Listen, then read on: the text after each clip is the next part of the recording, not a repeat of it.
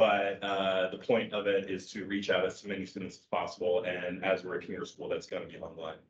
Um, also, I want to keep, uh, keep in mind, this event is not so much about debating ideas, but letting the students know what you're about, what your policies are, what you want to advocate for. So try and keep that in mind as we're going. Uh, because we're on such a short, there's so many candidates here, and we're on such a short, um, timeframe. Try and keep, uh, what you're gonna say just about you and what you want to advocate for. And with that in mind, I will let Simon Jeremy take it away.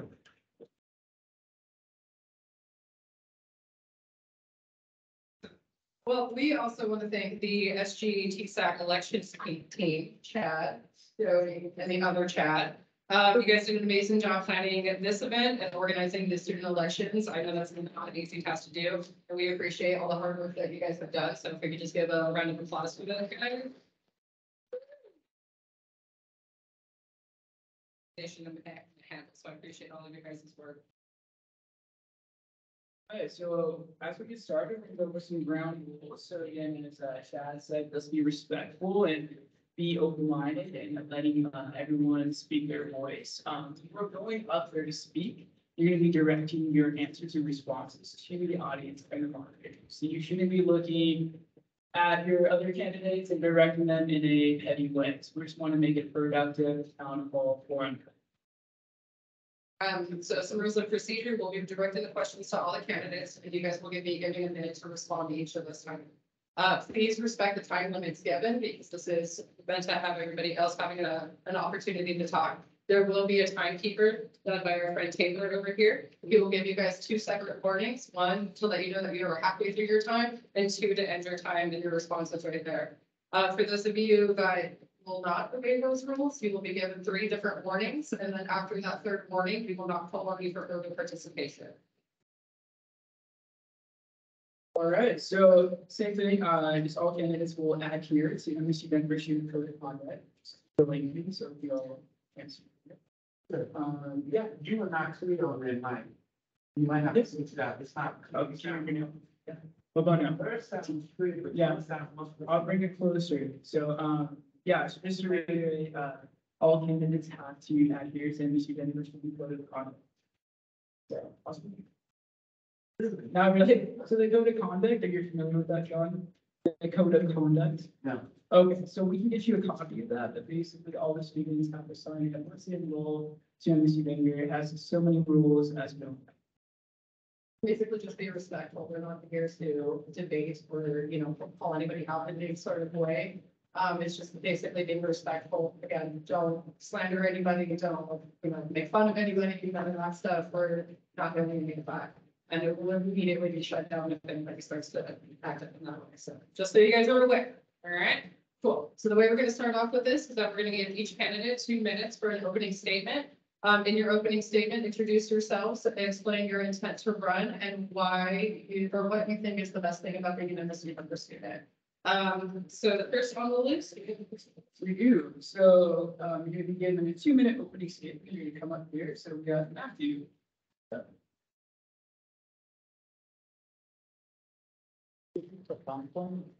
Yeah, of course. So it's gonna be your name, pronouns. Sorry, excuse me, I'm on the wrong side. Um, name, pronouns, your major, and why do you wanna run? Alright. And anything else? Hi, my name is Matthew Rathbun. I'm a Master of Social Work student here at MSU Denver. I'm also an alumni. Um, I graduated here my undergrad in Human Services.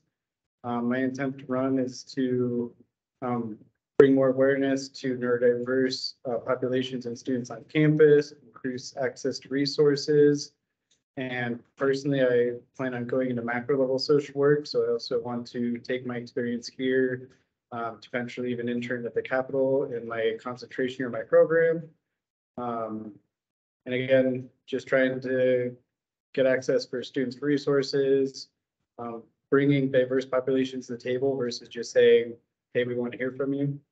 And yeah. Yeah. All right, next up.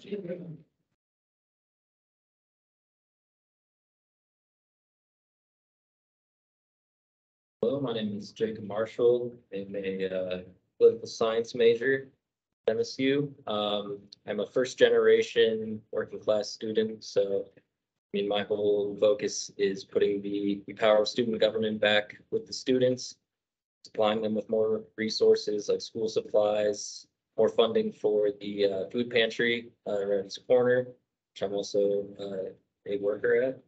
Um, and just making this campus a better place for, for everyone, make it easier for people to uh, focus on their, on their studies, which uh, it's hard to do when this is a commuting campus. A lot of our, our uh, students are working class, up to like thirty percent are facing food insecurity, so I'd like to knock down those barriers that are stopping people from graduating.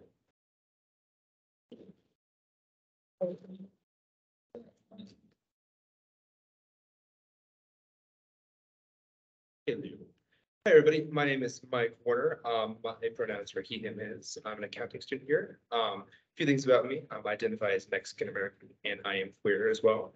So, um, I'm rerunning for student government this year because I, in my travels through the campus, um, students are not being heard. The administration, uh, the tri-institutional, um, kind of voice is not being heard between, uh, administration, faculty and students. Um, I believe fully that if we empower our student body here on this campus, then it'll lead to better retention rates. Um, and it will fully activate this campus more because I don't believe higher education has fully recovered from uh, the COVID pandemic. And I'm running to increase um, spaces for students in this Tivoli building. I'm running to increase funding for students in this Tivoli building. And I'm running to um, just represent students here in Denver. So thanks so much.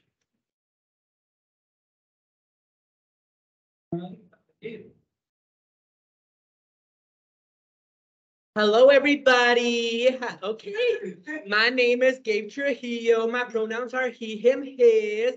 I am a psych major with a Spanish translation minor.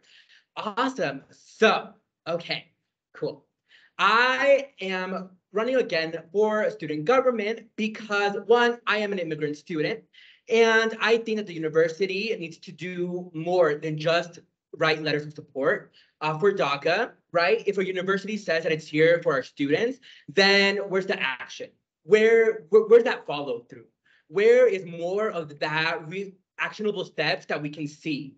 And for that, I really want to push for more internships for our for our undocumented students, specifically those like me who do not have work authorization, and so therefore are blocked from a lot of other internship opportunities that others have. And the university needs to do something to really help push for that. And I also think with that, I want to really push for institution, permanent institutional funding for the Rowdy's Corner Food Pantry. Because again, if the university says it's here for its students, the university claims that it's here for to protect us and help us and find us and find us all these resources, then we need to see that actionable steps. And we as students are here to help hold them accountable. Yeah, thank you. Thank you,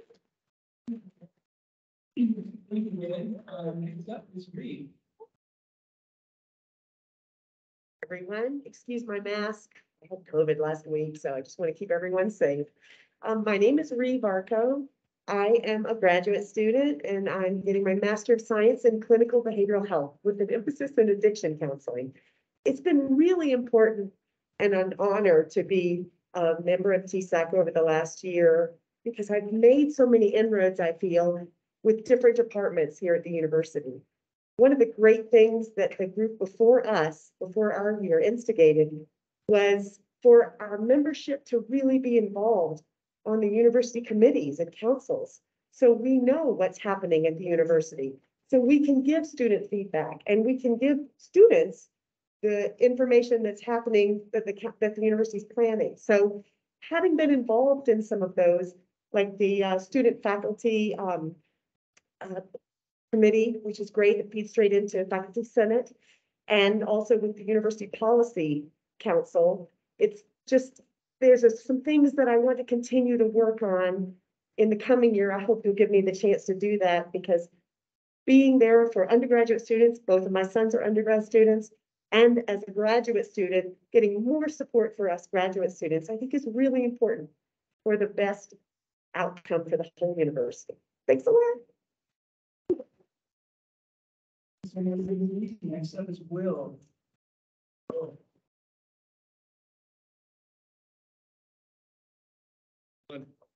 Hello, everyone. Um, I'd like to start out by thanking every single one of you for coming here today. And uh, I'm William Coates and I'm running as a Latino veteran student. And I, this is my first semester and I've seen some issues that I really want to change and be part of that change. And some things that uh, I've heard from students personally is uh, high cost for textbooks.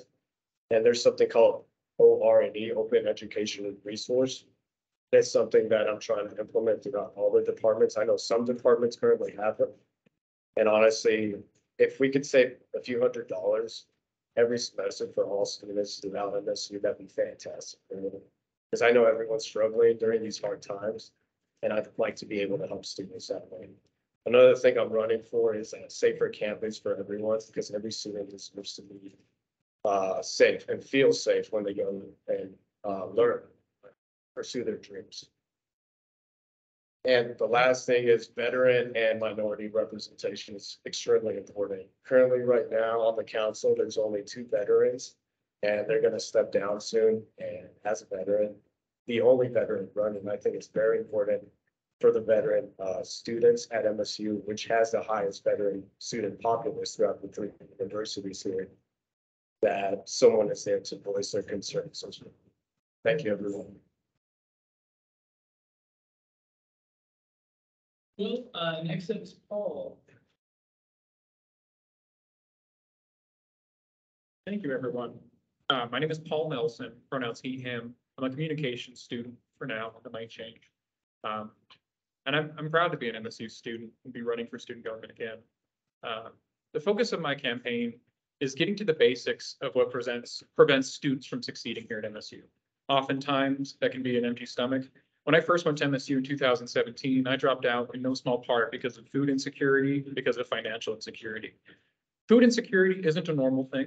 It's not a natural thing that one in three students on our campus goes hungry or food insecure. This is a problem that can be solved with serious institutional skin in the game. I stand with my other candidates on this, on the, on this race in wanting to meet that challenge head on and eliminate food insecurity on our campus. Uh, big part of that is funding Roadrunners Pantry or Food, uh, Roadrunner, Rowdy's Corner. You'll have to excuse me, all the name changes. Um, That's a big priority for me. Uh, I think that that lies at the root of why a lot of students might drop out of MSU. Um, and I think that if we get back to those kind of basics, uh, like food security, affordability of textbooks and school supplies, we can see a dramatic shift in the amount of students that graduate and are retained by our, by our institution here. I'm an activist and no- and an organizer. I know many of you have seen me out there. Uh, I struggle for justice, and I think that that needs to happen at every level of power in our institution. And a big part of that's having student voice there. In the nineteen sixties, it was the Metro State College that fought for and won a seat on the Auraria Board of Directors. I'm proud to be one of their predecessors at this point. Now, it's not over with, though. That is a voice without a vote. And I think that if it can be won by a student government, it can be expanded by a student government, and a vote can be won by that student government. The Auraria Board of Directors ought to have genuine student voice and vote on it, not just advising, but actual role and say. We talk about shared governance a lot on the campus, but we need to actually make it. Thank you, Paul. Next up is comments. Good afternoon, everybody. Oh. You hear me now? Beautiful. I guess I'm home. Uh, so I am, uh, Thomas Cheney, pronouns he, they. And, uh, I am a communications major, uh, going into my junior year. Also an organizer on this campus. I organize for the Aurora Cross Disability Alliance. Um, and I work with our, uh, our faculty unions on campus. Um, I am, uh, I'm running specifically because I've been acknowledging the efforts from, uh, from council members from the previous year to accommodate our, uh, our students as we go into our uh, academic lives. Accommodations specifically for the working class citizens that are a part of our campus. Our campus uh, has a majority of people who are working full-time on top of uh, pursuing their academic careers. These are people with families, with children. These are people with uh, aspirations outside of work and outside of school. And uh, I was inspired by no small part by efforts like the food pantry, by the free school supplies, by uh, the free RTD pass, all things that need to be protected under uh, progressive candidates. That's why I moved forward with this and why I specifically align my campaign with Jacob Marshall and Paul Nelson. Because something can be done when we all work for a better future.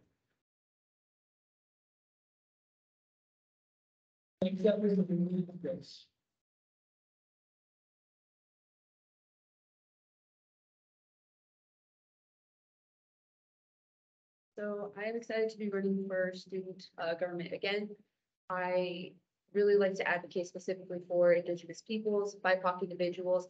We claim to be an MSI institution, but yet we have very little representation for each of the cultures that we represent here on campus, and I feel like that's very disappointing. So I like to provide as much accessibility to, I would like to provide and try to provide as often as I can, as much accessibility to the resources that are available, especially for our STEM students and any other department as well. Uh, I think that indigenous culture specifically, we are very, very underrepresented along with our African-American, African-American cultures um, and our Middle Easterns as well. So if I can, I would love to do events and stuff consider or centralized around those cultures so we can get more representation on campus for them because they deserve a place here on this campus as well when it's a predominantly white institution. So. Thank you.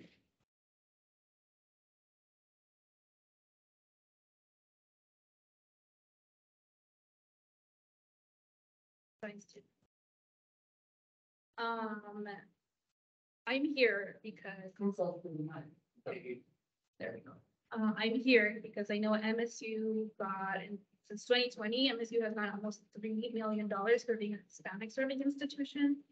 And I would like to see where the money's going. Um, I would like to tighten it, uh, student council with the faculty union. Um, nobody knows what we need in the classroom but us and the professors in the classroom with us. Um, I think we need to empower students as academics, not just as students and, you know, uh, prepare them to will fulfill the workforce, but also we need to tell students that their positions as academics count. Um, I want to empower that identity. And yeah, I just, I would like to have a good connection between faculty, the board and the students. I know that's a hard and it's a complex relationship, but there's power in numbers. Thank you. Benny, uh, next up is John. Oh, here we go.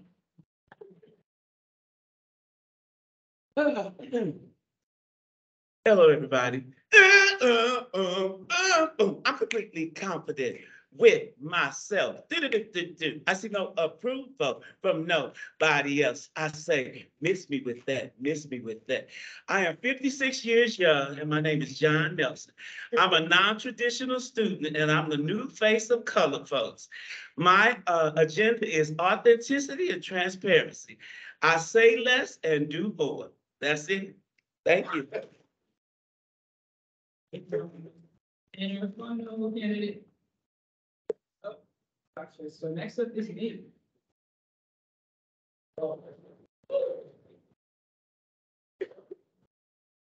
I love that, by the way.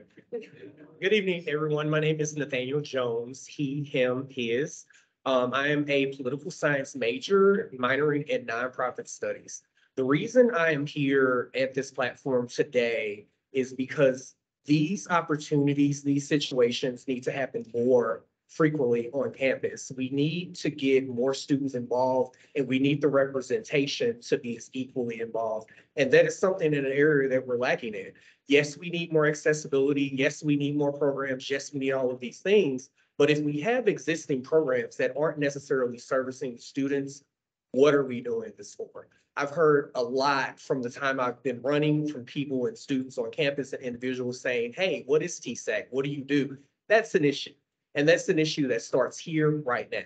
I am the candidate of action. I am the candidate who is willing to get out, shake hands, meet people, get to understand individuals, processes, and activities that are happening on campus because we need more action. We could say all day, yes, we're the people with the action. Yes, we have these plans. Yes, we could do whatever. But without the action behind the words, what are we doing? Thank you.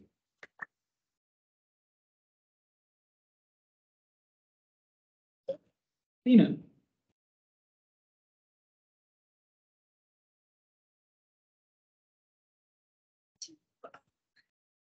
Guys for not talking or understanding or getting to know my other roommates. And I honestly just forgot the name, Nathaniel. The name is Nathaniel. Yes. Awesome. I'm sorry for not understanding that before. And your name is Will. Oh. Cool. And your name is? Naomi. Okay, Naomi. Um, and your name? Debbie? Denny, Demi? Demi? And Mike? And Gabe? Reed?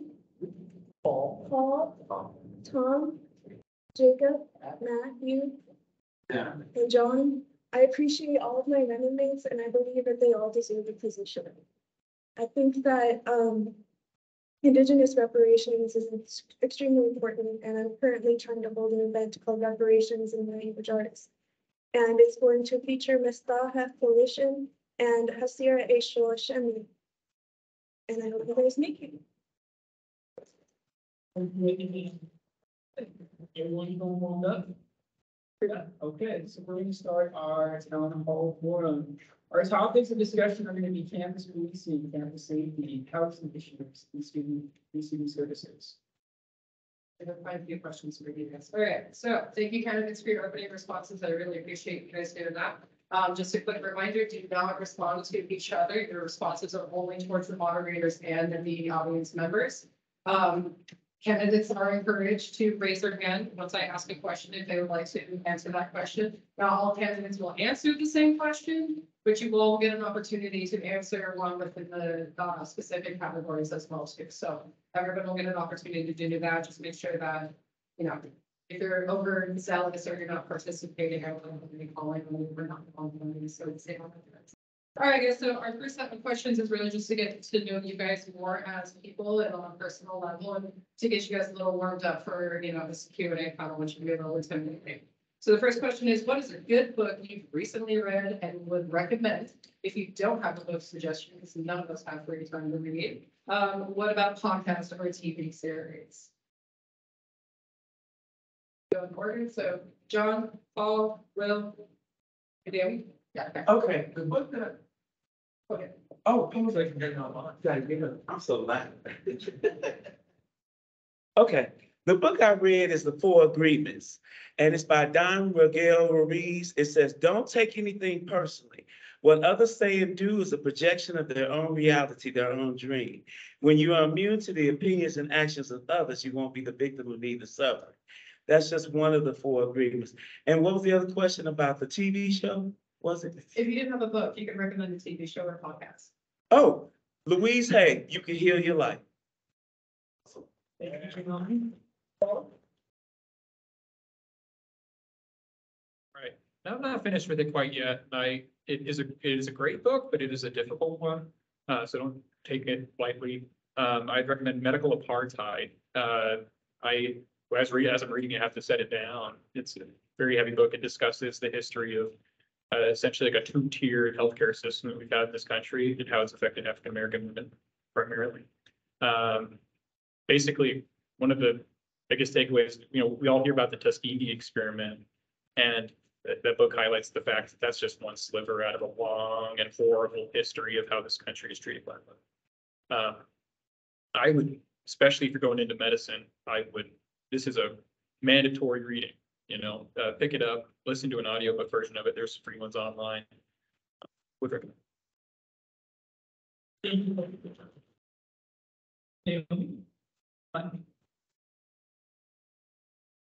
Will. Hello. Um, There's this, uh, one book called The Stranger by Alfred Camus. Is that right, Chad? Did I get that? Okay. He's a philosophy guy. So am I. I love philosophy. And basically it, um, it revolves around nihilism and ex- existentialism. So it's different ways of seeing how the universe operates and how it exists. And I think it's a very interesting read if you want to look at life in a different lens than what society has uh, given to you and imparted on you. So it's a very interesting read. I definitely recommend it. 10 out of 10. Um, a show that I would recommend that I just started watching. I've been been been binge watching uh, HBO's Last of Us. I don't know if I have any gamers in here, but it's a great show. I definitely recommend it. So. So yeah. Thank you, Will. Gary.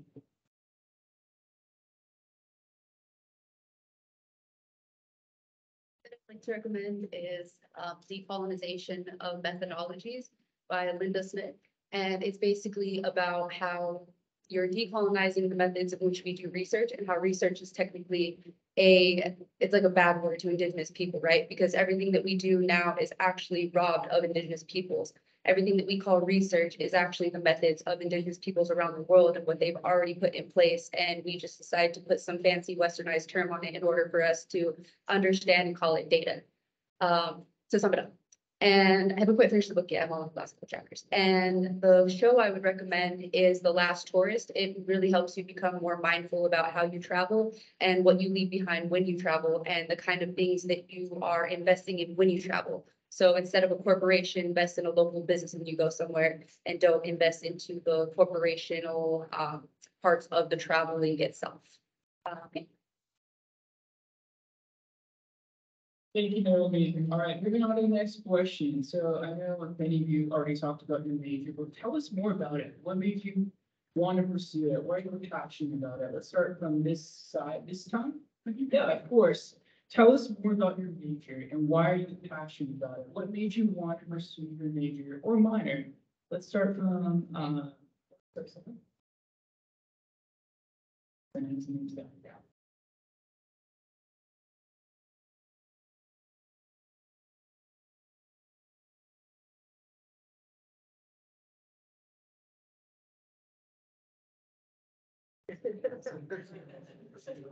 Let's just go down the road since one thing is right. Uh, let's go down, let's start with.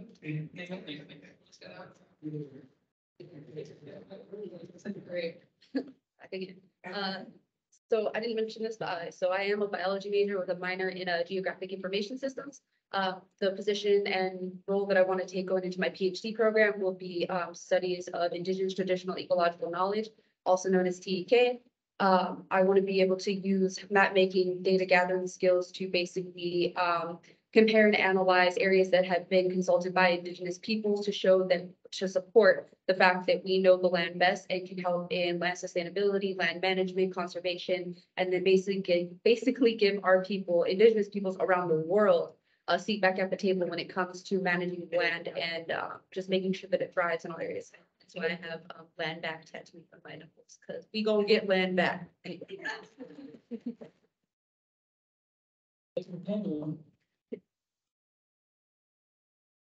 So once again, I'm Nathaniel Jones. My major here at MSU is political science.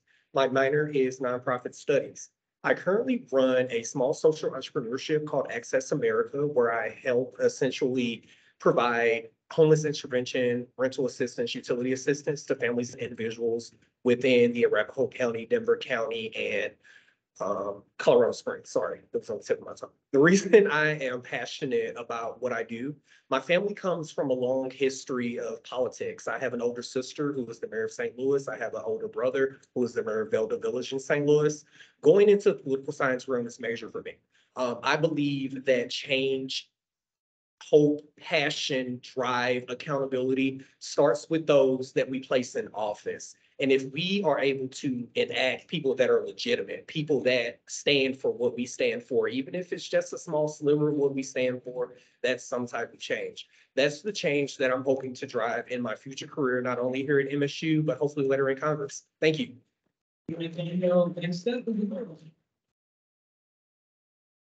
So basically, when I started out, um, I was young, I didn't know what to do after graduating high school. But I always knew I loved history, you know, ever since I saw that uh, Alexander the Great movie on the silver screen. I was just captivated by, by it, you know, I was like, damn, the, the long hair, the campaigning, the, doing the craziest things throughout history, right? So I always knew I wanted to do history, but like, after graduating from East High School, I didn't know what to do, so I went into the Marine Corps.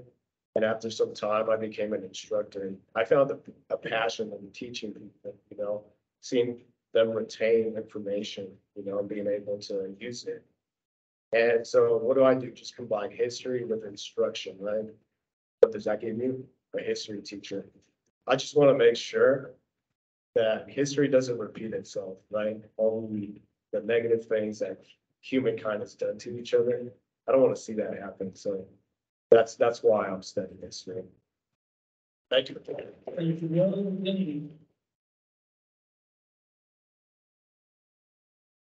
I decided to learn to political science. I moved here when I was fifteen myself. I run from the drug, uh, the war on drugs at my Tough, but it was being in the States, being in safety definitely gave me the opportunity to curious about what was happening in my country and what was happening here, you know, what's supplying the demand, what's I'm by, and um, I realized that there is nothing more vulnerable than learn, being in a learning environment. Um. so I decided to go into education for a while. I was a para for a little bit. Um, so my goal is to finish my political science degree, go into an alternative pathway to education, and then I want to practice education. Um, we've been robbed of people, uh, people of color and bodies of color are disposable and are, you know, we're just expenditures. It's lack.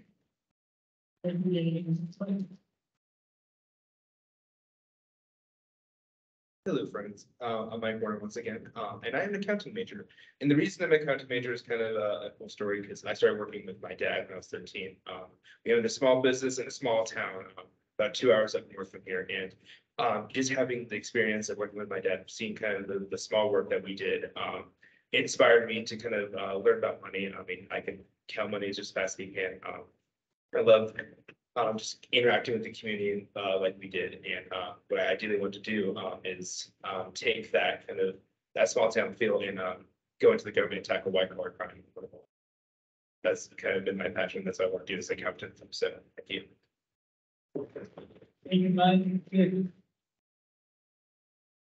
Awesome. Okay, so I'm a psych major for a variety of reasons.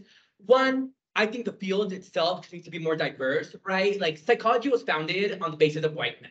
That's just how it is, right? And I really want to be able to go and push against those barriers because why are we comparing ourselves to what white men think is good? You know, Hundred percent. Then also, it's really interesting to learn how people work and how their stories and how their beliefs and everything impacts who they are. And I think that psychology is a great field to understand that. And I'm going to Spanish translation, and I'm getting the Spanish translation certificate because I think translators need to be better at realizing that uh, getting things from one language to another is not just enough, but you have to also have to translate the meaning and the culture behind it. Awesome. Thank you. Excellent. I want to apologize because I didn't say my pronouns last time. It's she, her, and hers. Secondly, I just want to say it's always a privilege to follow Gabe because he's so full of joy and sunshine, just lightens up the day. Um, I decided many years ago, um, I got my undergraduate degree before just about everybody in this room was born in journalism. And during COVID, I was really touched by the news stories of so many people who needed mental health counseling that I decided at my ripe old age to go back to school. And um, I have been here and been just overjoyed at what I've learned, at the people I've met, and how I've been moved to want to do more and more. And I think that's why with my degree in mental health counseling, I want to really work with marginalized groups. But while I'm here at school, I've got two more years to go. I really want to see how I can be of use for this campus. So thank you very much.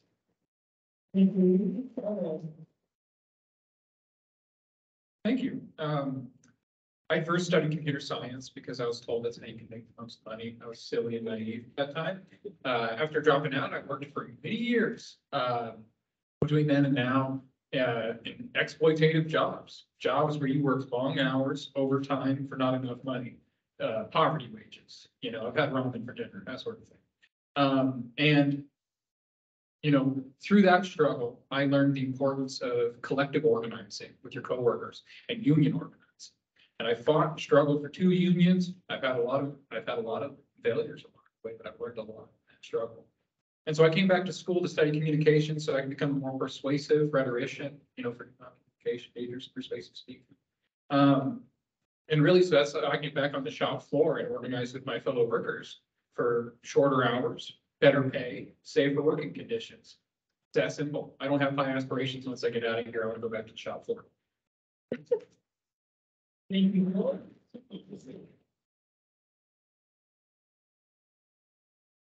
Hello, hello. So uh, I am a communications major, mainly because I started off as an entrepreneurship major, then eventually a marketing major, then finally communications. The reality is that my dad is also a, a communications major. Uh, it's something that just flows through my family, It's our, uh, our need to communicate with other people. And it's our first line of defense for, uh, for protecting rights, for protect, for fighting for rights, for fighting for more equality is communication. It's the first thing that you say. No means no. Um, so, and it's a, it's a powerful tool to be used. Uh, I'm, uh, I'm testifying tomorrow to, uh, to pass a, a statewide ICWA bill. As we have seen like fights to, uh, to get that removed from a federally backed position. And I, I do know that I, uh, I'm sitting here as a white man talking about indigenous things, I wanted to also use that as an opportunity to give that to, to our other candidates in English. Thank you, Thomas. Jacob?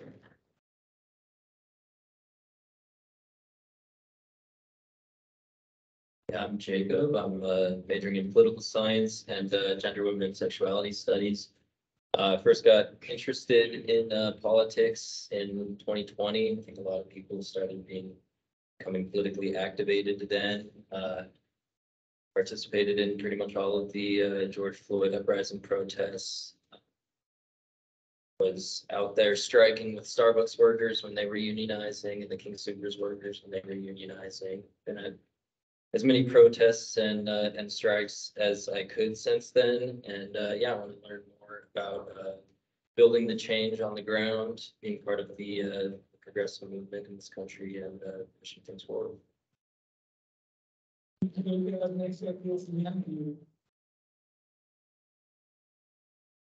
Hello again, my name is Matthew Athon, he, him, his. Um, again, I'm alumni here from MSU. I got my degree in human services, concentration in high-risk youth and a minor in gender and sexualities. I'm back for my master's in social work, looking at macro level social work, which is policy and legislative advocacy. Um, and I've worked in a lot of different organizations between uh, Colorado Youth Matter, which worked around youth sexual health, uh, One Colorado, which is the state's largest LGBTQ plus advocacy organization. And I'm currently working with um, behavioral health providers at Medicaid to advocate for policy and legislative change.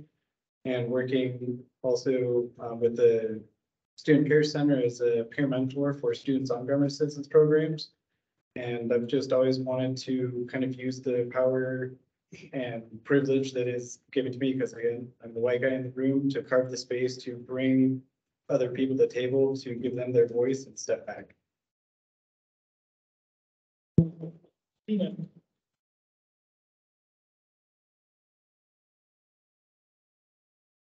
Um, I'm a disabled student to an extent. Uh, I have some mental disabilities at some point in time.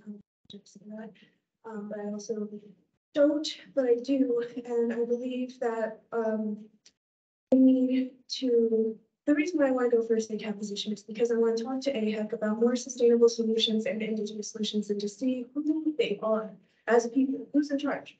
And I want to talk about putting houseplants in the classrooms. I want to talk about moss growing on- in concrete, so on. Um, oh, That's what it is. Completely. Uh, I I believe, um, one the first things that I'm going to do is try to bring the understandings of cheaper parking, houselessness students, and, and I support, um, the rowdy, keeping rowdy, uh, the the greening our environment, indigenous reparations, those are the main stances.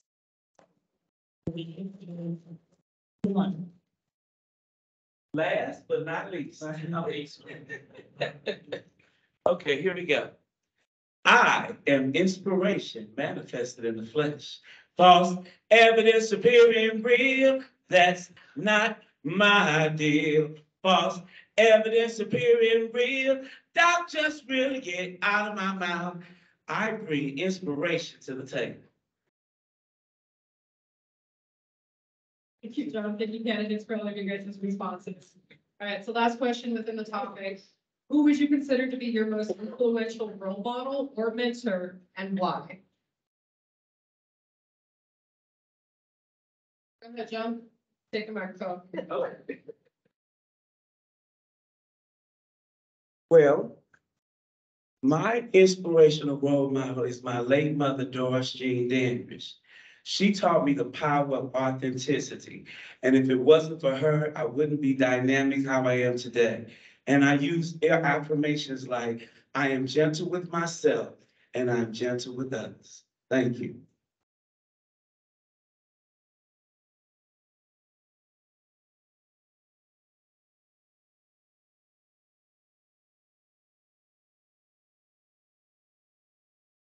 Say my biggest uh role model was one of my high school teachers, Steve Lash. Um, he got me in- interested in history and and teaching and things like that, um, and learning about the world um in a way that I didn't really have before. Uh, and now he is uh the union rep for the the school district that I was part of, so he's uh doing the labor movement thing now, which I'm also very excited about.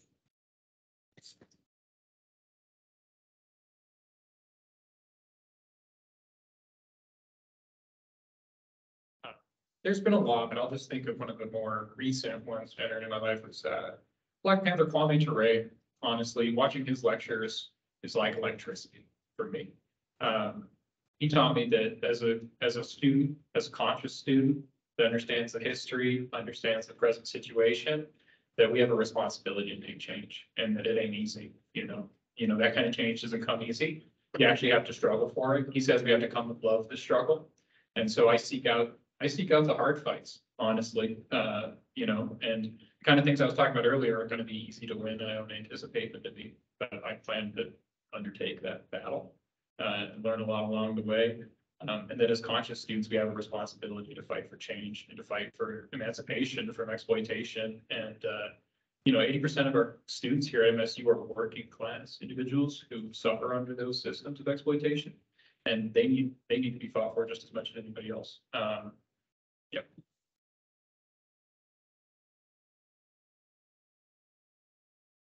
Just quickly, um, I think the most important role model to me is my little sister of all things. And, uh, I was the meanest big sister growing up. I used to beat her up, kick her all the time, and she was just constant. She just loved me no matter what, and she taught me that that is the most important thing to do. Be there for people, love them no matter what. And I think that lesson has taken me really far in life with the people that I care about. And, you know, being patient and tolerant and listening and, you know, getting through tough things with people. The most important thing is to really be constant and be there.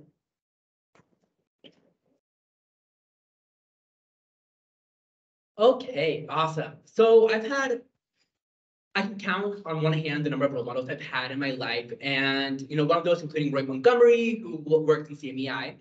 Um, but the biggest role model that I have had in my life was my mom. She was an independent, strong immigrant Latina woman who was also a single mother who worked so hard to really raise my four, my three brothers and I and really take care of us and really just bring us to where we are right now. She passed away last May, and so I try to do whatever I can to continue her legacy in helping raise my little brothers and just really being a good person within the community and showing up and showing out. I'm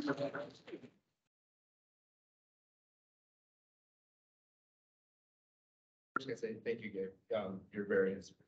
Um, I appreciate that a lot. Um, my two role models are my parents, in fact. Um, neither of them went to college. Um, they both are hard uh, workers. My mom is an immigrant from Mexico and my dad is just a small business owner that was raised on the streets of Denver. So, um, every day, um, I'm here, I'm lucky to be in the position of pursuing a college degree because of my parents. Because without their constant support, uh, without their constant determination, uh, I wouldn't be here, uh, where I'm right now. So.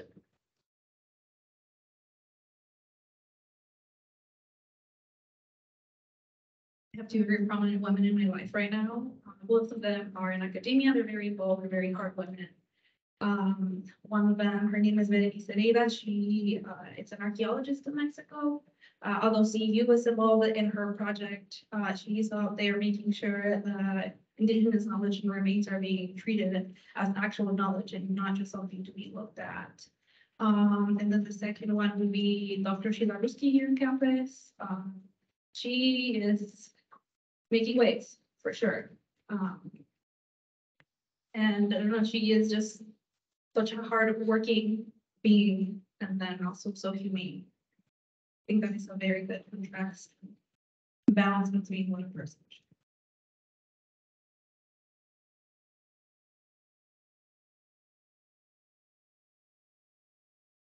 I think it's pretty common to be a mama's boy in today's society.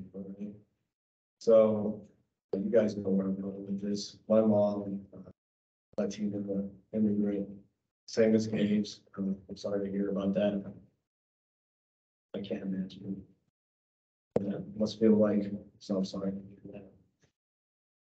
She, she, she was cut off from our family because, you know, the whole situation with immigration and whatnot. And she taught me as a single mother that if you work hard enough, if you believe in what you're working, then you will achieve it. So she's my number one. She's always been my number one, always be my number one. And, um, always, well, she's my, uh, you know, my support. She will always be my support. So she's my. Thank you.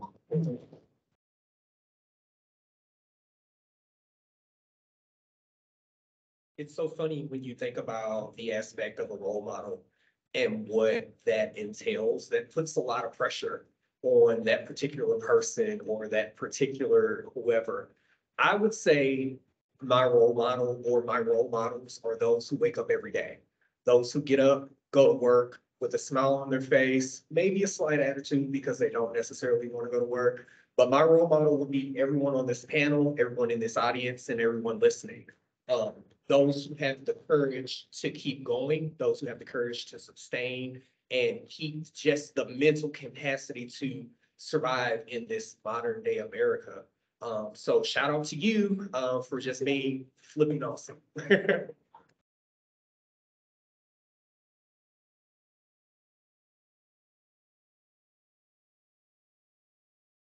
You didn't have a good reason to vote for Gabe, you're doing it.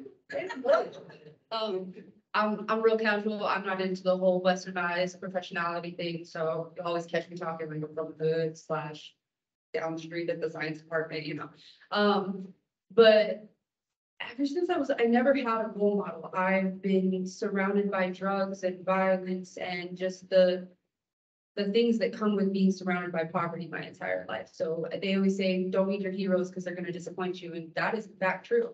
Um, until recently, um, I kind of learned that I was first and foremost my biggest inspiration, because if you cannot find inspiration within yourself, you are not gonna find it within anybody else. As in the four agreements, it does talk about how, you know, we are a mirror and there's this fog between us and that fog is constantly seeing self-doubt and no enlightenment and such and such. But if you see that in yourself, you see that in others. Um, however, I did meet someone recently. Her name is Winona LaDuke. My goodness, that woman is an activist. So check her out.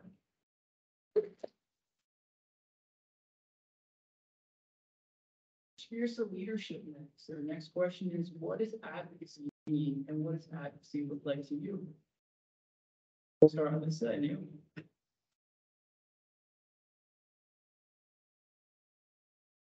Thank you.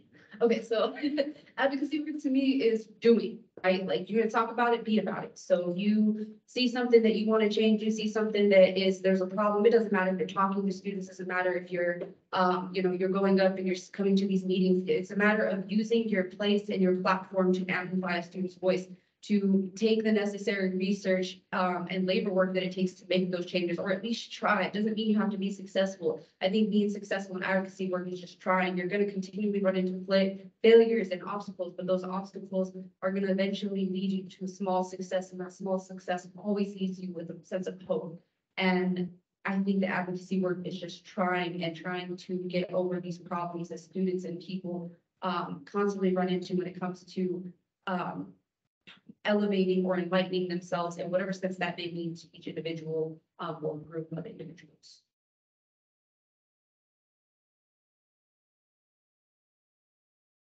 Is this the one minute or two minute response? One minute, okay, let's change that.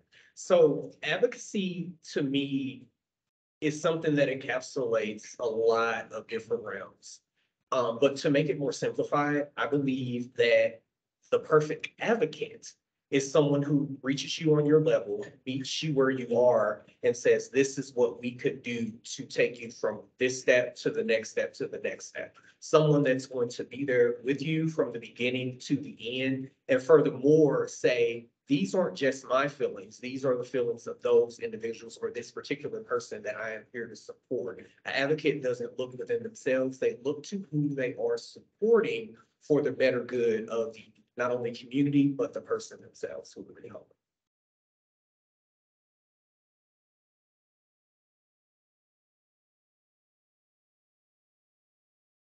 See, it's about asking questions, questioning, what you've been internalized.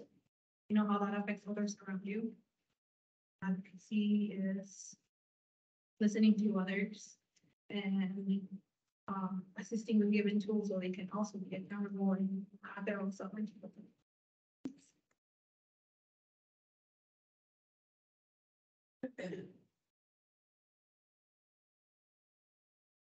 So advocacy to me is self-awareness. I look at all of you all on the planet as little babies, and I treat you all with the utmost care. So I am the demonstration of elevation, and I create value in every conversation that I have, giving you the notice that you are the best version of your mother and your father. You better act like it.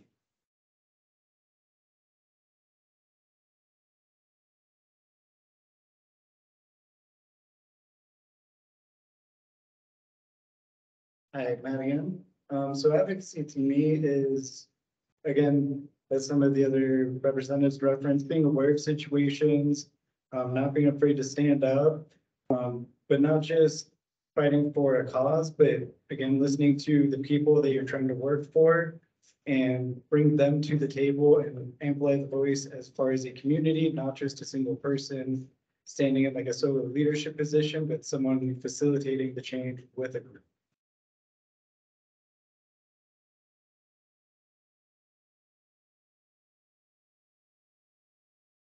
So advocacy looks like representing the people around you. That means not just listening to them, but walking in their shoes and breathing their same air every day, something that all of our candidates on this panel do. Um, it looks like listening to, knowing when to listen, knowing when to talk, and knowing when to be skeptical and when to challenge something.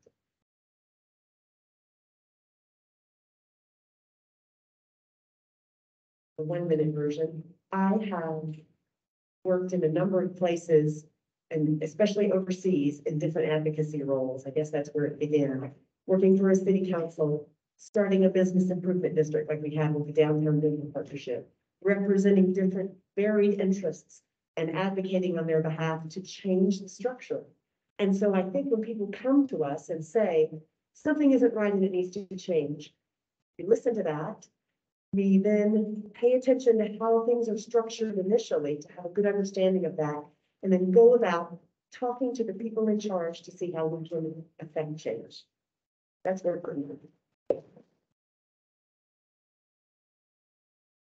For me, advocacy means recognizing that the status quo has got to go.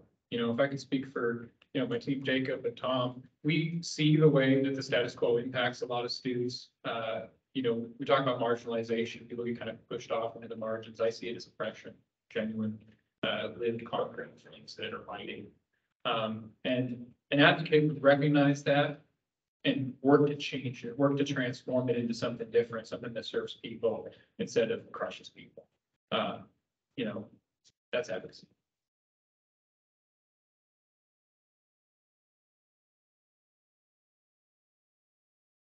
and it's the IDP of transformative advocacy. So I'm actually taking an initiative to build my career on the understanding of advocacy in the sense that it's adding your voice and pace so people can see, quite literally, in the sense that I want to help multiple communities of the marginalized to be understood and reparated with their voices added to the case of situations in a transformational way.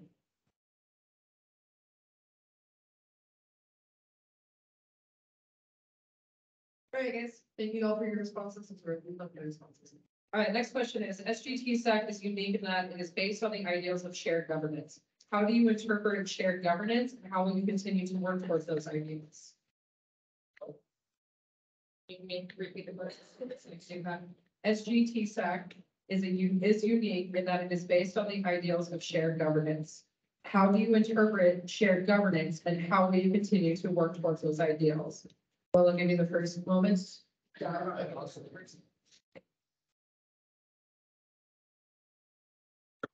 shared governance, right? So what that looks like to me is understanding other different viewpoints and where people are coming from.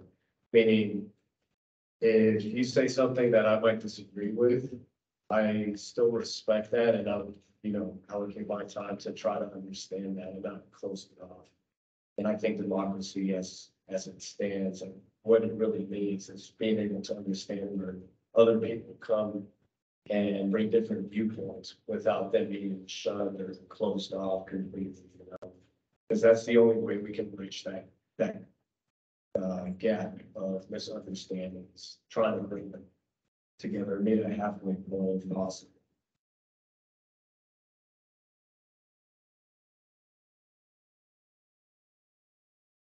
You all giving some easy questions. Shared government represents to me the old Chinese proverb, seek first to understand, then to be understood.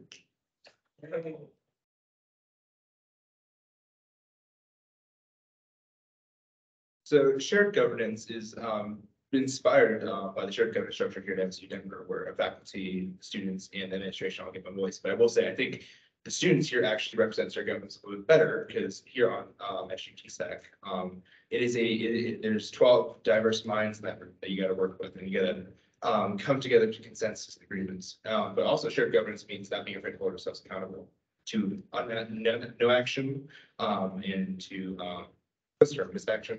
Um, but um, accountability is very truthful in shared governance and should be brought up.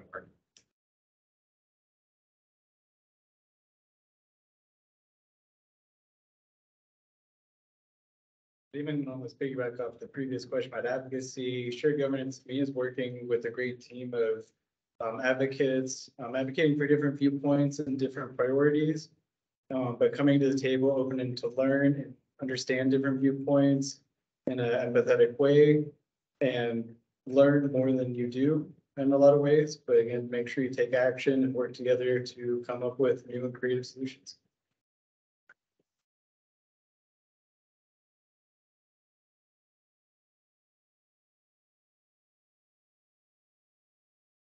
So shared governance is, uh, is the reality that we all have different things to contribute in the, uh, in the governance of our campus, because it is a wide campus of forty thousand people and plenty enough of a faculty. It's hollow words currently to say that it is, uh, a shared governance when ABOT refuses to allow elected officials to vote, specifically the student vote. Um, and I will be working directly to change that. So now switching gears to student wellness is next. What is one critical challenge you students are currently facing right now? Um, and if you had no constraints, how would you solve that challenge? And just a reminder, this is your time to speak, so if you really wanna go there, just raise your hand, and we'll start on the side again.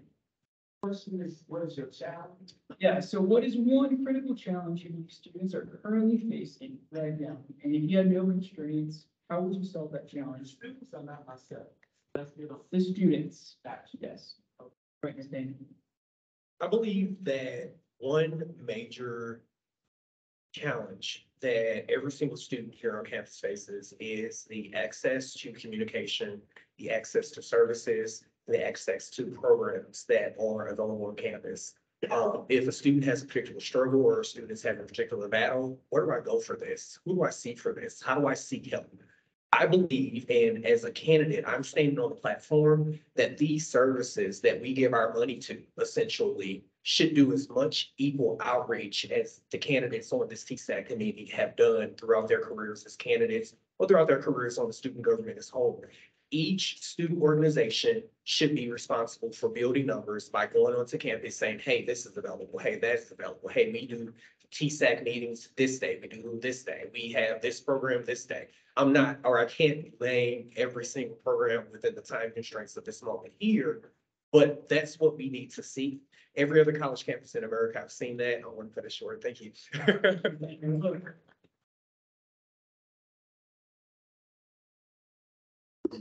Number one, the number one question I ask students is, did you know that you had this uh benefit or this scholarship? Or this uh program that could help you? Ninety-nine percent of the time, it's like, no, I didn't, I don't know, no one's told me, or, you know, so awareness, right? Awareness is a big issue on this campus.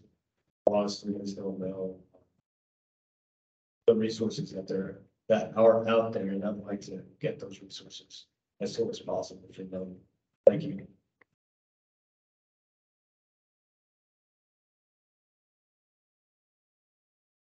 Upon reform, it's like a private institution, you know, we still have to get for twelve hour credits at the least, um, and- and I think a really big problem is burnout. You know, for us and for faculty as well. Um, if I could, I would, um, cut the four classes per faculty member and I'll do three, and I will make sure that those, the faculty is going to provide students, you know, with the extra help that we need, because we are not just like the population of private schools. We're not, we are full-time workers, we are, some of us are parents, or just have other responsibilities outside. So I would love to provide faculty and students with a little more support for just at least the very initial part of their academic careers.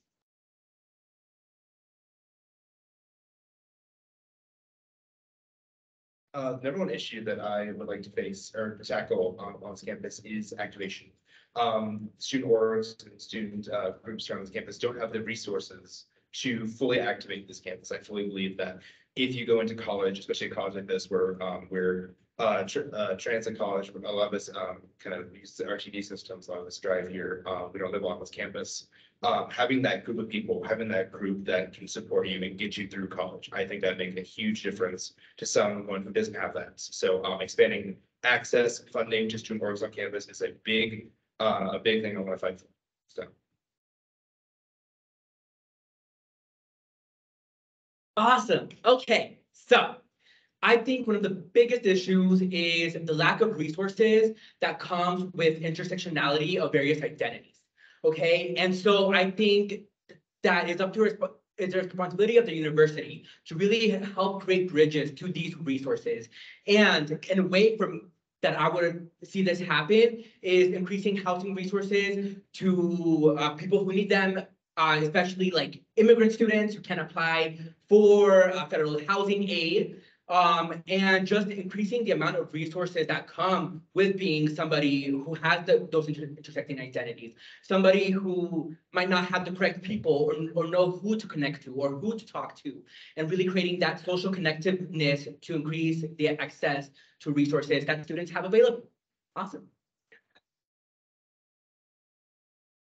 You know, there's so many brilliant ideas that everyone has said so far. I don't think I can add anything to it, except to say, of course, touting my major, mental health connection and, and assistance. Really, communication is the key to everything for our students on campus. People aren't getting information, they don't know where to seek it. So we need some kind of streamlined ability to give them that information so they get help. Thanks. Biggest issue I see impacting our students is economic. Truly, uh, our students are hitting the wall with crushing student debt, with stagnating starvation, wages paid to student workers on our campus.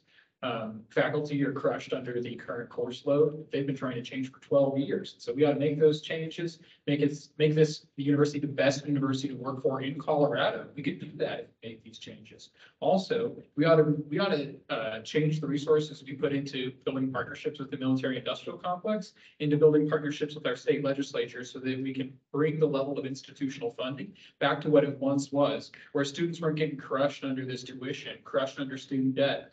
Um, and really, another person might ask, well, what are you gonna pay for that? How are you gonna pay for living wages for student workers? Well, administrative, uh, administrative pay restructuring. We have people getting rich on our campus while people are hungry on our campus, and that ain't right. I say chop from the top.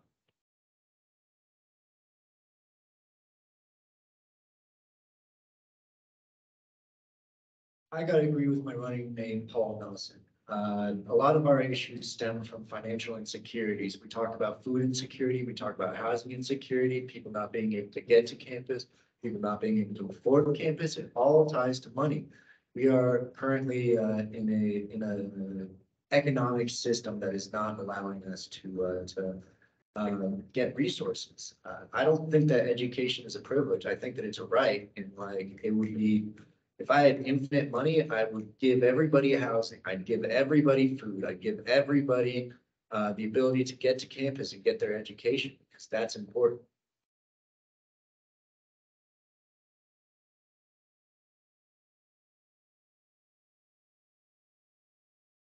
Yeah, a lot of this is gonna sound familiar from what the other uh, candidates are saying, but uh, yeah, I think financial security is a huge problem on this campus. We're a commuter college of working class uh, students mainly. One in three students is facing food insecurity and it's impossible to learn if you're hungry. Uh, if, if you've ever been hungry, you know that. Um, housing, if you don't have a, a stable roof over your head. And uh, if that's not near campus, which uh, is essentially impossible in Denver to afford uh, living, living here unless you're working 50, 60 hours a week and then going to school on top of that, it's just uh, unfeasible. So breaking down those barriers that are blocking people from coming to school and learning as much as they can and graduating.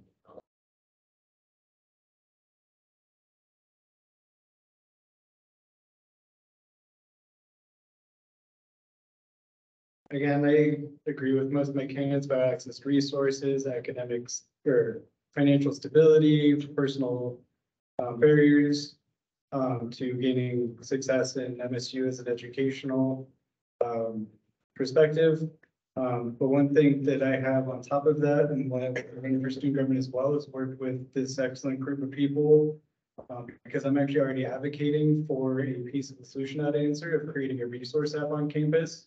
I'm trying to work with the Student Care Center and work up through the Dean of Students um, to help create a resource app that allow um, students um, also input resources. Because again, knowing I'm the white person in the room, I don't know or have access to a lot of resources for uh, minority populations, but giving them access to share those resources with each other to build at least the access to potential on and off campus resources, um, even if we can't directly fund them.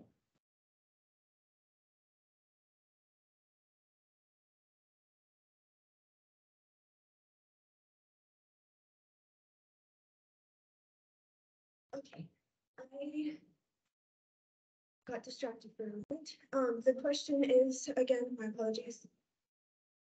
What are, what is the current challenge that students are facing? Safety, safety, that's what I was gonna say. Um. I am, I believe that safety is a challenge and I believe that because of the political um and civil um temperatures of the of of people, I want to work with a um.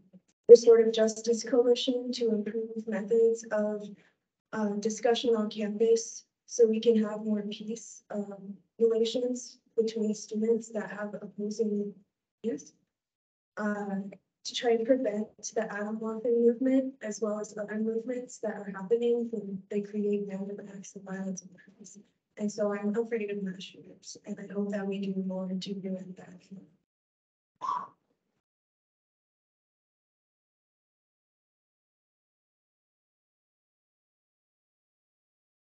What I clearly see on campus is too much cell phone and not enough communication. As a technological genius that I am, I would write an algorithm to say, turn that damn cell phone off and speak to your neighbor. We don't socialize enough. Thank you guys, appreciate it. Switching gears again, this time we're gonna focus on student engagement. According to a student survey sent out by the elections team, MSU Denver students overwhelmingly agree on the importance of transparency and accountability within student government. However, results also show that the student body, or that the student government does a mediocre job at representing students. In what ways would you utilize your role to ensure that you are accurately representing students and voices are being heard? Go down. Yeah, go ahead.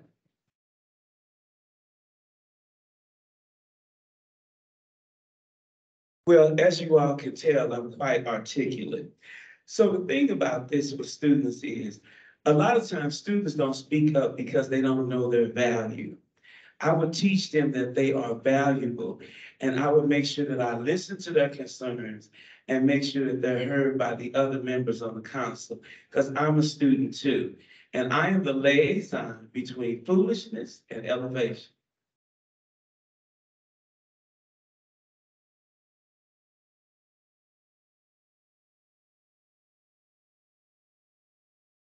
They're in intense language position.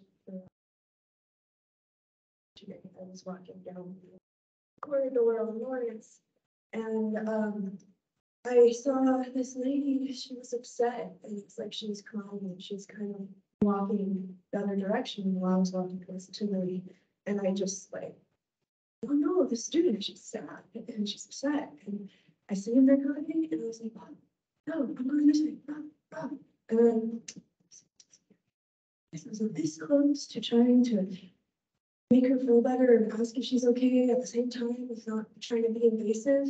And I feel like she felt me want to ask her and hope that she's okay in a way. But I also just was too afraid. And I think that's what the problem is. I think that's why people are afraid. Like communicating, socializing, and so on. They're afraid and we are their voices. And I hope that they talk to us.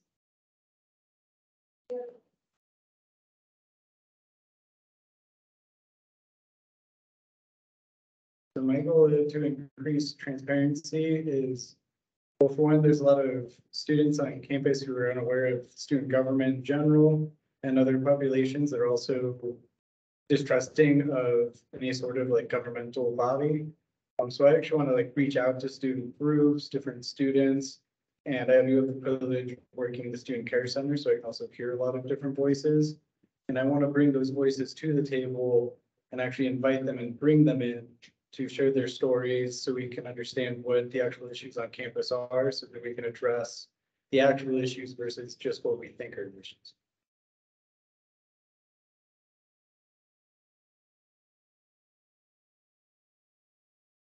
Yeah, I agree with Matthew. I think uh, as the student government, our job is to listen to the students and uh, really go out there and see what issues they're facing, what they want from the student government, and just be the uh, the bridge between what uh, the students want and making that happen. Um, it Shouldn't be us imposing the things we want to do. Uh, it Should be the the mass of the people uh, know what's best for them and and just push for push for that one.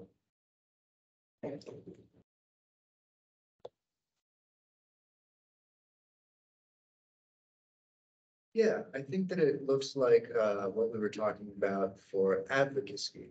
Right, it means being the voice of the students, being understanding the troubles and their uh their struggle every day.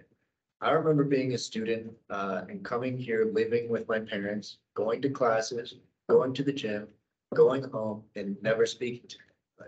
And I think that what that looks like is better communication between uh between TSAC and uh uh, the students to have our flyers up, to let them know in their emails when like, when events are happening, to push our, our, uh, groups, our clubs, and to build the community. Uh, when they see efforts like that, they'll definitely trust our transparency. better.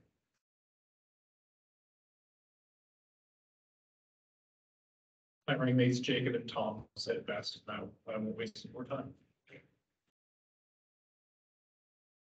For anyone who has served on TSAC and is serving now, um, I think I can speak for them and say it's really hard to reach students. Faculty finds it hard, the administration of the university finds it hard, because we're a commuter campus, and as was said, you know, you come here, you go to your classes and you leave. And so I feel what I've learned over the past year, it's going to be about using the faculty senate working through the instructors who see these students in classes and getting concise, clear messages to them once a quarter, once a semester, you know, not just bombarding them with information so they're overloaded and you don't notice it. It's just an idea that I think, you know, we can try in the coming year because we have really tried it is really hard. So that's not to say let's not stop. Let's keep going. Okay, cool. So I definitely agree with what Bree said. I definitely also think that, you know, going into the classrooms and right, and being right there in front of students, right, you know, they're already there, right? And so, you know, just a little information that, they- that they can get, you know, a little foot in the door type of thing. But also, right, you know, like right now in student government, we are not as diverse as we could be right? And so how can we bring those diversity people, those diverse voices into our spaces? And I think that that could also be uh, talking to the identity, identity-based organizations like the Black Student Alliance, like the Latinx Student Alliance, going there and asking, you know, what is it that, that they see as critical and seeing how we can partner more with different organizations and different students than just uh, TSAC within itself.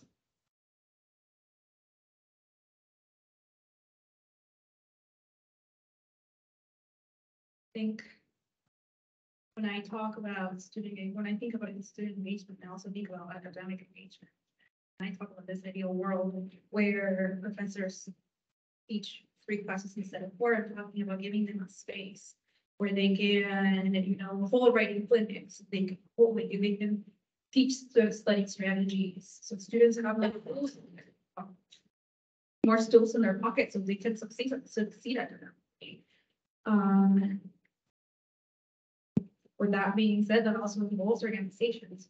Well, like I said, this is a complex uh relationship between all of us in this uh school environment, but and there's power in numbers and we need to help students to advocate for themselves and empower them within their academic identities.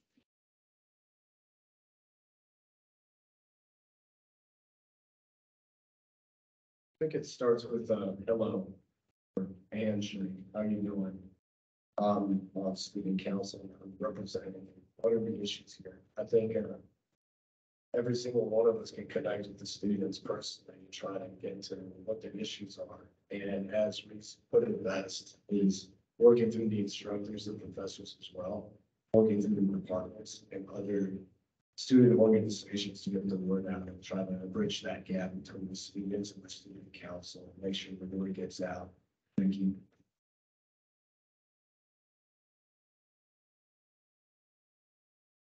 I believe I take a totally different stance on outreach and transparency. I believe that legislation, legislation should be drafted on the TSAC committee that requires any organization on campus that receives funding from students be required a certain amount of time each month, each quarter, each semester for outreach if we aren't going to force their hand and say, hey, if you want your numbers to go up, if you want people to volunteer, you have to get out on campus and do the legwork behind that to get people involved. Shooting an email, shooting a text message on this live here, it, it just isn't enough. It's not enough. We need more activation, more activism, more involvement, and the only way to do that is if we force the hand of those that we give these financial services to. That's not going to change until we require it. And I think that's something that we can accomplish on TSAC this coming year.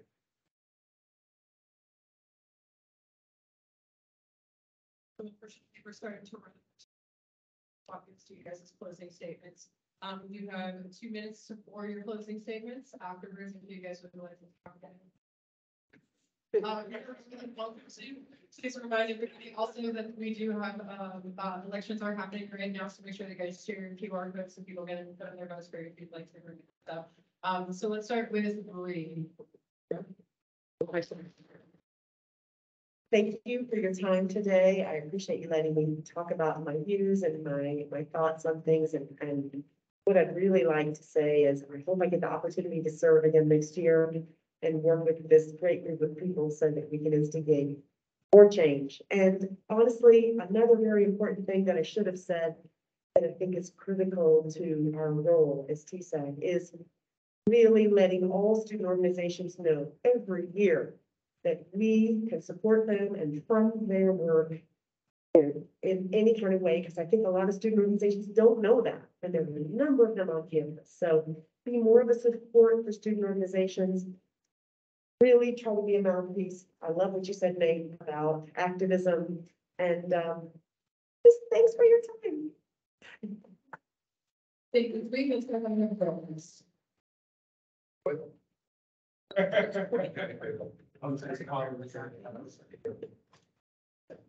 Friends and end with, thanks, uh, thank you to everyone here that made this possible. Staff, the student government and the current, uh, counselors involved in government.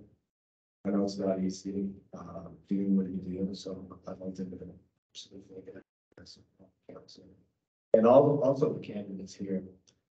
And I'd like to thank everyone for taking the time to give me the opportunity to tell you who I am and I believe in.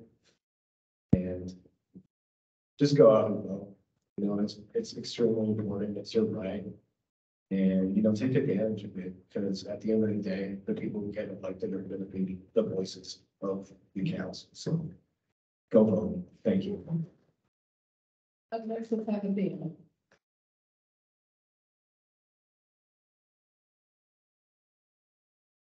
Repeat the question again. It's your closing statement. My closing statement.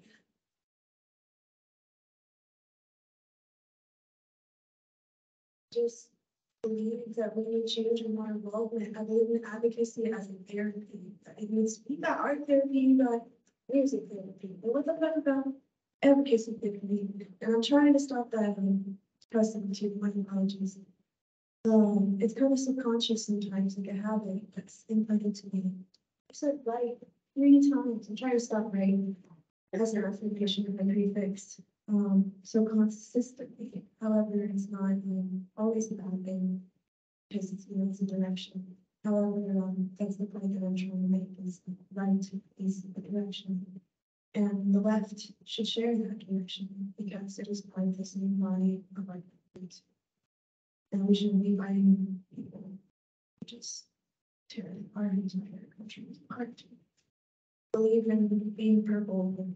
I believe in giving the land back to indigenous people. And um, that's true justice to me. Nate? Hey, Tony.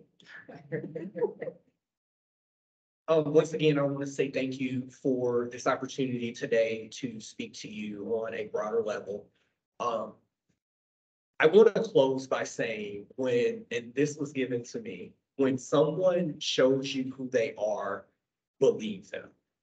From this past week of being on campus, posting on social media, using Snapchat as my primary, my primary platform of reaching the masses. I believe I've proven myself to show that I am able to be an advocate and to able activate the voices of those who have chosen me to lead them. So far, I've met none of these other organizations on campus. I haven't seen any organizations on campus other than Convocation, other than Meet the Greet Week. That's a problem. And that's a problem that needs and will be addressed in the future. If I'm not elected, if I am elected, I continue to continue the activism. Because we need more voices like myself. We need more voices like Paul. We need more voices like Brett. Voices that are saying, hey, these are issues and we're bringing them to the table and this is how we could solve them. But we cannot do it without your support. We cannot do it without the masses. But the key problem is, where are the masses? If we haven't stepped out onto the campus, if we haven't shaken anyone's hands, if we haven't said, hey, how are you? To a person all day because we come to school and go home, that's an issue. And that's an issue that needs to be addressed from here on out. My platform is simple, meeting people, hearing their voices, and relaying the information from those voices to create subsequential change. And that's what I stand on. Once again, I appreciate your time. I appreciate your vote in advance. Thank you so much. Go Roadrunners.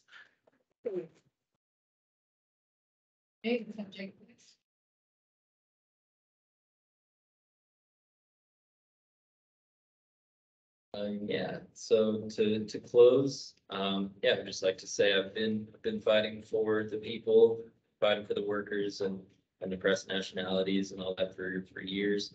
Gonna continue that fight, whether I'm elected or not, uh, but being on the student council will give a little, little more power to, to push that fight further. Thank you. Thank you so much for picking all of us, um, if elected and giving the opportunity. I just, I would like to empower every single one of student body and.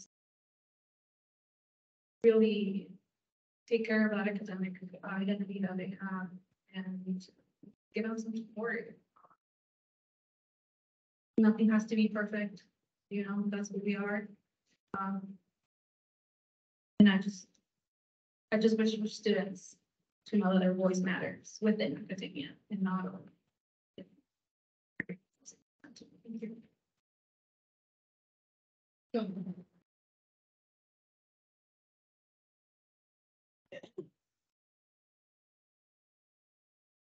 do something new and get rid of something old and watch how your life gently unfolds.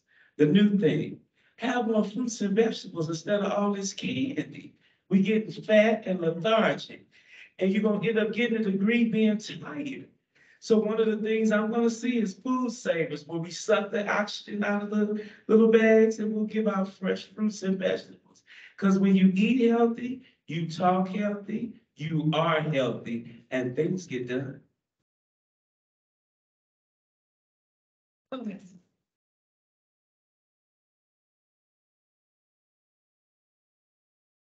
Wanted to come up to, uh, to say that I'm, number one, I'm very thankful for this opportunity. Number two, I'm not just representing my campaign today. Uh, there's a reason why there's three heads on the poster. Um, I'm standing alongside, uh, Jacob Marshall and Paul Nelson. That's because we are ground shakers. We, we make a movement. We are, uh, we represent your rights. We want to fight for your resources. So thank you.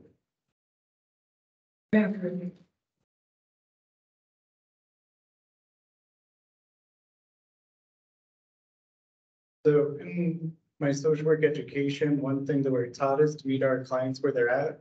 So I want to, again, reach out to the MSU Denver students and again, bring them to the table.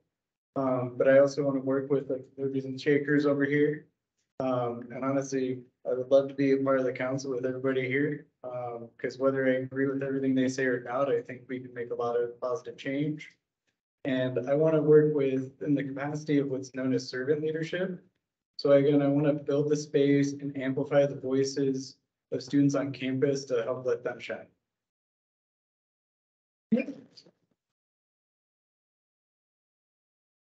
First and foremost, I just want to thank everyone uh, here uh, online and in the audience for giving us the time and space to voice our opinions and um, and convince you guys how we're going to change this campus. I also am very appreciative to uh, the diverse opinions on the stage. Um, But uh, I want to bring back um, being student government rep is about the students. Uh, The students are the number one. You go into work every day.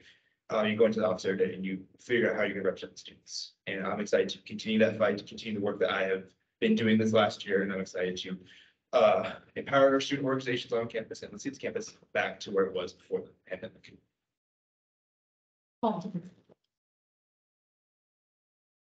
Thank you. I'm here because I believe students have power. Student power, it's a, it's a magnificent force that can't be stopped by anything on this planet. And when united and exercised consciously, we can really do some things. We can really change things. I'm proud to be up here with a lot of conscious students and Benny. My co, my co-runners here, John, and the rest of you, honestly.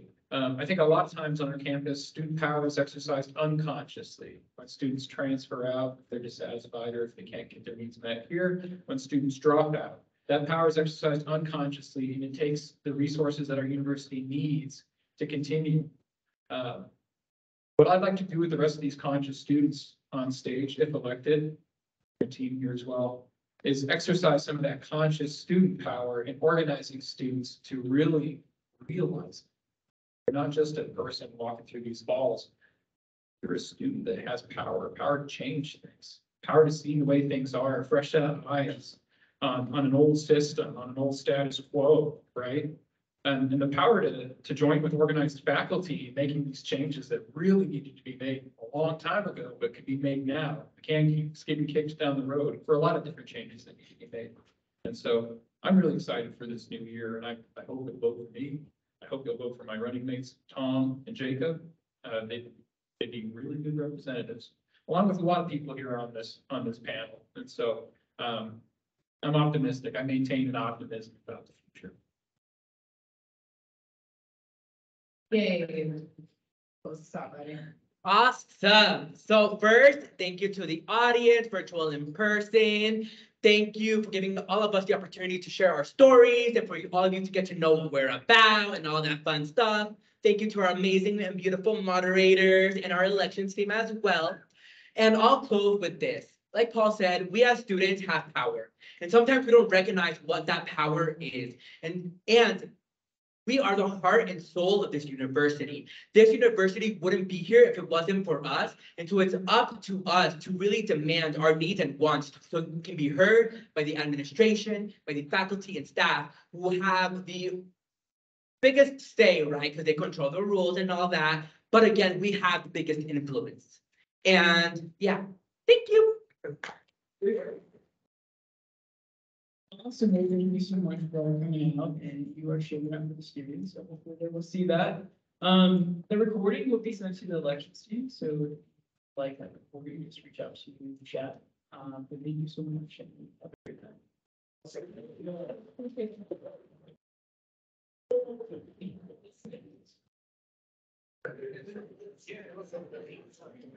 Wait, everyone, I free, uh, so grab one from Senate.